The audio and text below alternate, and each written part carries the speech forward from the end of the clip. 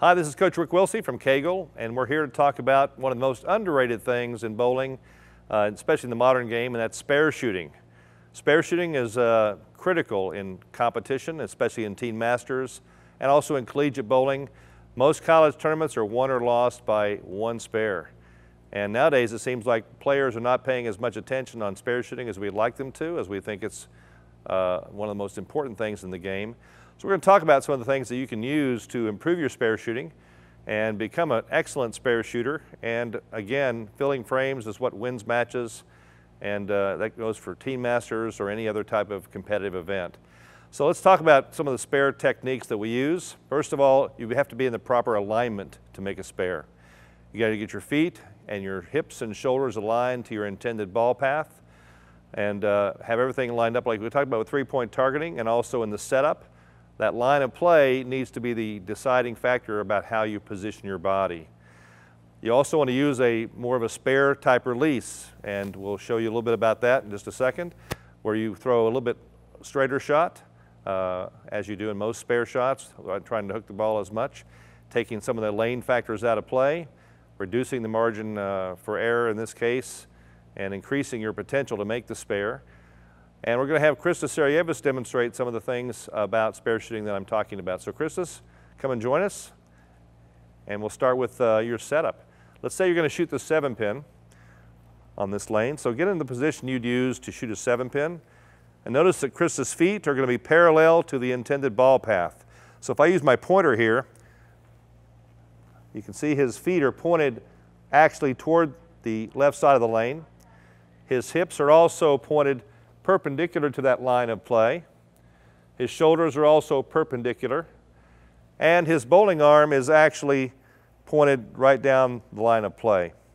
So those are the key things about the setup that you want to incorporate. Lots of times players open their feet the other direction and the hips are pointed toward the 10 pin while they're trying to shoot a 7 pin spare. And the shoulders are pointed one way, the hips are pointed a different direction, which really makes it difficult to make spares. So here you see Christos lined up. Everything is in the proper alignment based on the line of play. Now again, in spare shooting, we use three-point targeting. So he'll be looking at the seven pin, if it's a single pin spare, for two full seconds, counting in his head 1001, 1002.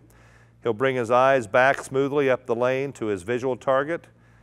And again, focus on that visual target for two full seconds, 1001, 1002. Then take a breath in, let it out. And Chris, let's go ahead and make a, a practice approach here, even without the ball, as if you were shooting the spare. Notice his finish position. His body angles are still in the direction of the seven pin.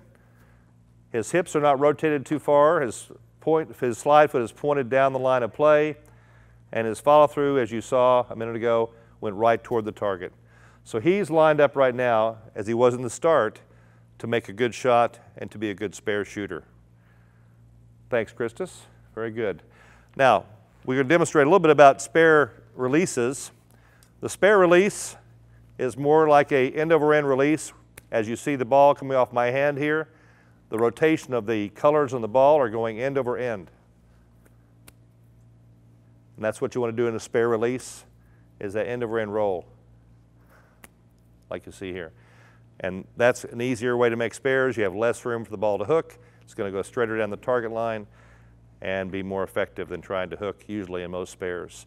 So that spare release is what we're trying to achieve as well as the proper alignment, as well as using the, the three-point targeting. Those are all keys. As far as speed goes, we want to throw the ball about the same speed as you normally do. In other words, reduce the number of variables that you have to change to make a spare, keeping everything else the same as much as possible. So when Chris throws a spare shot, he uses the same speed as he does on a strike shot. He doesn't try to change his game completely to make a spare. So as many things as we can keep the same, the better. All we have to do then is to adjust our alignment, adjust our release, and use our three-point targeting, which we use on every shot to make things happen the right way and to be successful. All right, remember on spare shooting to take the same amount of time on your spares as you do in your strike shot. I see so many players who will take a great amount of time getting ready on a strike shot, doing their setup routine, getting a line properly, and then on their spare shot they just grab the ball and go. And that's another cause for poor spare shooting. So take the same amount of time on each shot, uh, spare shot as you would on a strike shot. It's just as important, sometimes more important. We also are going to talk about now, as we did a minute ago with three-point targeting, you want to have a focal point. And on a single pin spare, I told you before, the focal point would be the single pin.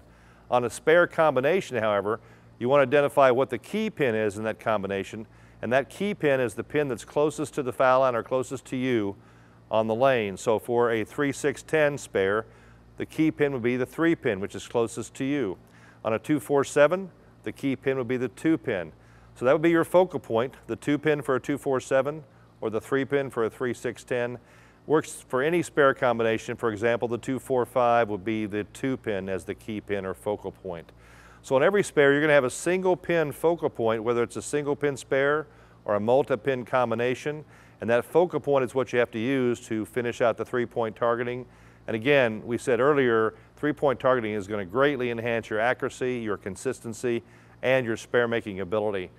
So in this next session here, you're going to have about 20 minutes to do some practicing on lane with spares, and that's going to be key for you to uh, finish out your Teen Masters program and to be successful at it.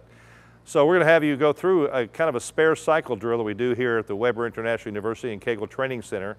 And you'll start by making the seven pin on the left side of the lane, again aligning your body to that spare, throwing a more uh, spare-like release where the ball goes more end over end and has less hook with the same speed as you normally throw the ball. And again, with the same amount of time that you spend up front getting ready to make the shot, making sure that you're going to make a good shot. Then you'll make the 10 pin. And then you can make the 4-7 as we have set up here on lane 7. And on the 4-7, the key pin would be the 4 pin, the pin that's closest to you. The 6-10 would also be another spare combination you make, and the key pin for the 6-10 would be the 6 pin. Then you can make all the spares in between by hitting the pocket. For right-handers, it'll be the 1-3 pocket, or hitting the pocket for left-hander, the 1-2. And then the rest of the spares will be made by hitting the opposite pocket, the 1-2 pocket for a right-hander and the 1-3 pocket for a left-hander. So going through that set of spare cycles, as we do all the time here, at our programs at Kegel and Webber International University are the key to becoming really confident in making your spares and becoming really proficient in making your spares. It takes practice, it takes dedication, it takes using that three-point targeting system we talked about to make it all happen. So if you want to be a better spare shooter, especially in Teen Masters, follow these guidelines. Watch what our Webber kids do. We saw Christos Sarajevis demonstrate a really good setup and alignment for spare shooting. And he took the same amount of time in that spare shot using that three-point targeting with those two seconds on the focal point, two seconds on the target up front. That's the steps to get you to success.